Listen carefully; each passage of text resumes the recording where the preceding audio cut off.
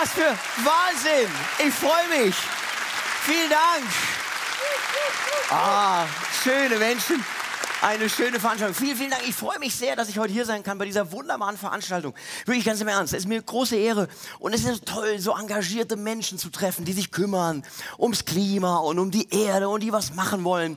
Und ich muss natürlich sagen, das bringt halt alles nichts. Ja, das ist nicht so die Message, die Eckert jetzt wollte, aber das, ich habe das erkannt. Das ist ja diese ganzen Bemühungen, ja, ich meine, die Fakten sind klar, Wissenschaftlerinnen und Wissenschaftler haben das alles erzählt und so, aber es ist so ein bisschen wie wenn du versuchst, so einem Rudel Golden Retriever Intervallfasten beizubringen. Ja, die Hundebesitzer lachen, die wissen, wovon ich spreche. Es ist im Grunde nicht möglich, weil der Mensch in sich so eine komische Inkonsequenz hat. Also ich beobachte das so im, im, im Bekannten- und Freundeskreis. Also ich, viele, ich würde sagen, die meisten Menschen, gerade hierzulande, sind sich einig, wenn sie sich den Zustand des Planeten angucken, jawohl, es muss sich was ändern. Aber da geht so im Kopf eine Klammer auf, aber doch nicht bei mir. Weil je näher die Veränderung an die eigene Haustür kommt, desto eher sagt man, hier Kinder, macht nicht auf. Ja, man, man ist so, man will das nicht. Man, es ist diese Inkonsequenz, man will sich Veränderung. Nichts hasst der Mensch mehr als Veränderung. Das, das kennt ihr zum Beispiel aus dem Büro, wenn so neue Ideen eingebracht werden sollen. Ach na, das haben wir doch noch nie so gemacht. Ja, so wie es jetzt ist, ist Kacke, aber wenn wir es anders machen, wird es bestimmt noch beschissener.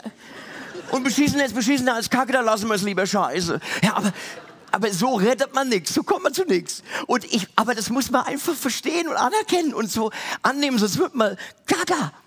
Ich war, ich war auch mal total aktiv. Und ich versuche jetzt so meinen Zustand, ist ein ganz komischer Zustand, ich versuche den zu bewerten nach dem Kübler-Ross-Modell. Ist das bekannt, das Kübler-Ross-Modell? Kübler-Ross, das kommt von diesem Ausspruch, man hat schon Pferde vor der Apotheke kotzen sehen. Kübler-Ross. Ja. Ja, da haben die Germanisten heute Abend noch mal was gelernt. Äh, ist ja auch wichtig. Ja. Und dieses, Sie können ruhig klatschen, wenn Sie möchten. Ja, da hinten die Lehrer in Reihe 7. Alle mal, können mal, bitte, ich höre das Geräusch gerne, bitte. Ja. Aber aber googelt das mal, da könnt ihr was über euch erfahren. Kübler-Ross-Modell, das handelt im Grunde davon, also es gibt fünf Phasen, wie der Mensch mit Krisen im Leben umgeht. Also mit Trauer, mit Schicksalsschlägen und sowas. Ja, und die erste Phase ist äh, das Leugnen. Das ist so, na, da, da ist nichts, da kann nichts sein, da ist nichts. Ja. Die zweite Phase ist der Zorn, wo du merkst, doch, da ist was. Das kann ja wohl nicht wahr sein, das ist eine Frechheit, der Zorn. Dann die dritte Phase ist das Verhandeln. Man, man merkt so, ja, es ist was, aber liebes Schicksal, komm, da reden wir nochmal drüber. Irgendwie kriegen wir das hin. Komm, wir können das irgendwie klären mit zwei. Wir kriegen es hin. Vierte Phase Verzweiflung. Oh Gott, das klappt alles nicht. Um Gottes Willen, was soll man machen? Und die fünfte Phase Akzeptanz, wo du sagst, ah ja. Und ja.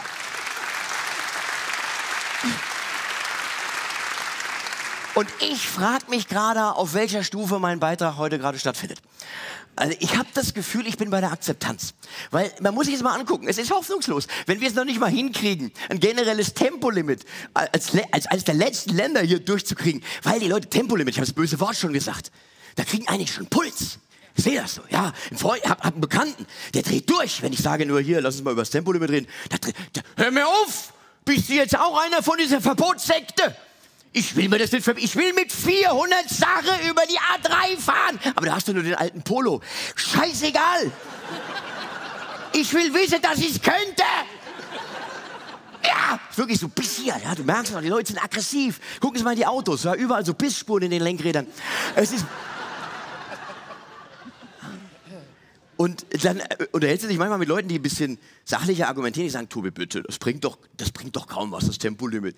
Wo ich sage, okay, also das Klima ist nicht morgen gerettet durch ein Tempolimit und die Straßen sind nicht auf einmal sicherer und die Rohölsituation ist nicht auf einmal geklärt, aber es bringt für alles was. Und es wäre günstig und schnell zu haben, wenn man die Schilder findet. Aber es, ja, kleiner Gruß an Volker Wissing, ne, unseren Verkehrsminister. Ja. Ja. Volker Wissing, ich nenne, ich nenne ihn ja nur liebevoll den C3PO mit Verbrennungsmotor. Und es ist, letzten Endes ist es einfach so, dass die Leute auch, wenn sie, wenn sie mal so getriggert sind, auch weiter abdriften. Dann entwickeln sie in sich so ein ganz komisches Freiheitsgefühl. So ganz, also habe ich das bei Leuten, die ich eigentlich für vernünftig halte, die drehen durch. Hör mir auf, ich will meine Freiheit behalten. Ich will mit dem Kreuzfahrtschiff über die Landstraße fahren und billiges Fleisch in Plastiktüten in die Natur schmeißen. Was soll mir hier dann in Deutschland eine allein auf der Gutmensch machen? Solange die in China nicht den Müll trenne, verbrenne ich meine alte Reife im Wald. Und ja, Oh, das war ein bisschen. Was willst du da sagen? Was willst du denn da sagen, außer, jo, ich hole meine Sommerreifen und fahr mit? Weil ich, weil ich, ich meine, es bringt dann zwar nichts, aber wenigstens brennt was. Ja, und das muss man einfach auch mal anerkennen, bei allem Einsatz, den man bringt. Es ist so, vielleicht müssen wir uns damit abfinden, dass unsere Zeit auf diesem Planeten abgelaufen ist. Man mag das ja. Leute, die sich leisten können, versuchen, diesen Planeten gerade zu verlassen. Ja, nehmen Sie ja. Nehmen Sie hier Branson oder Musk oder Bezos, ja.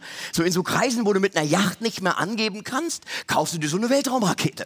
Es wird übrigens aus der Union kolportiert, Friedrich Merz hätte nach gebrauchten UFOs gegoogelt und aber das ist wirklich, die, die, die versuchen vom Planeten wegzukommen. Leute, die ultra reich sind, die viele Dinge hier auf dem, auf dem Planeten, viele Probleme finanzieller Art aus der Brieftasche bezahlen können. So ein Jeff Bezos, der könnte diese ganze Scheiße, die uns Andy Scheuer mit der Maut eingebrockt hat, könnte der aus der Brieftasche bezahlen. Ich würde mit dem einen Deal machen. Weißt du was? Du bezahlst das und dafür kriegst du Scheuers Haupthaar. Ja, das ist doch eine Win-Win-Situation. Ja, aber die wollen einfach weg, du merkst das. Ja, also auch, auch so gerade Elon Musk, ja, der, der Gelegenheitssympath, der sich gerade um Kopf und Kragen twittert, ja, der, der hat ja, der will den Mars besiedeln. Super Idee, oder? Kein Sauerstoff, kein Wasser, aber Ladesäulen. Und, ja, und, ja.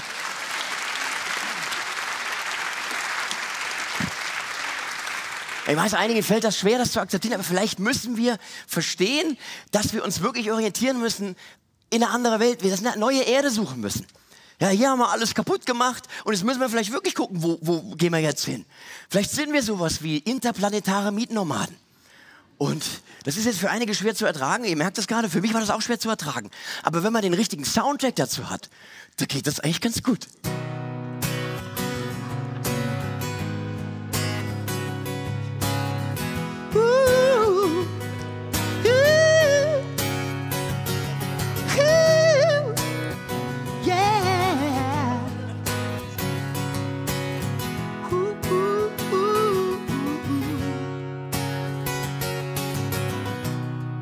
Die Menschheit steht am Abgrund und schaut in ihn hinein. Da ruft plötzlich einer panisch.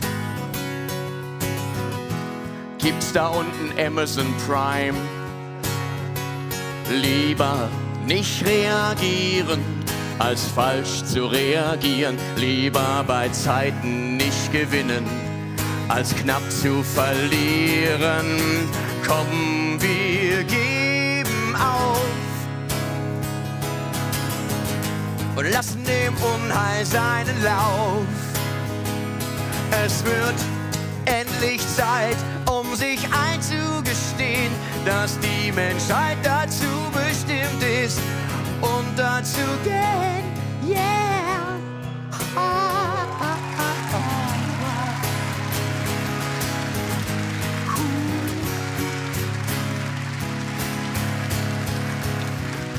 Stellt euch doch nur mal diesen Spaß vor.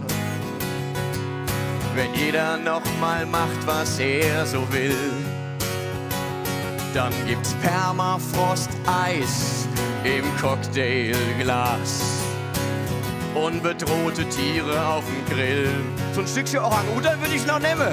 Es ist so bequem sich nicht mehr zu ändern, denn nach der Apokalypse braucht man auch nicht mehr zu gendern. Komm, wir geben auf.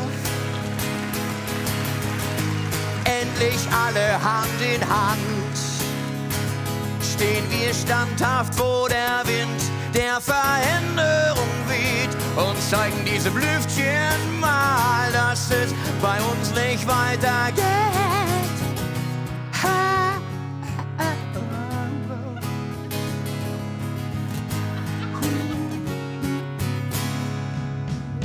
Was kann ein Einzelner schon tun? Warum fängt nicht ein anderer an? Warum nicht nochmal das leben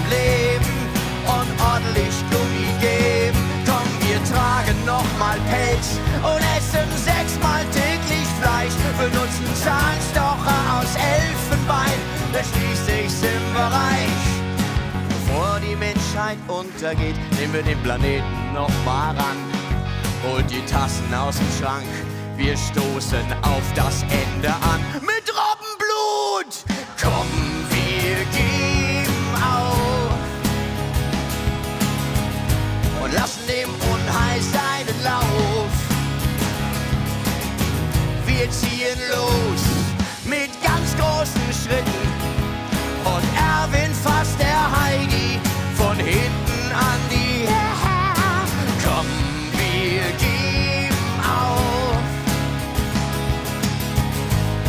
nehmen die Folgen in Kauf.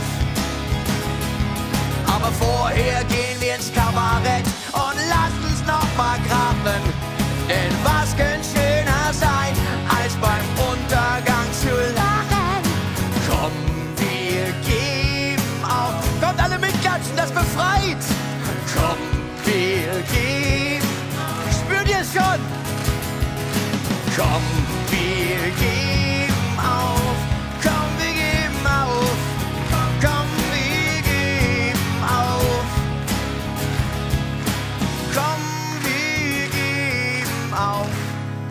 Komm, wir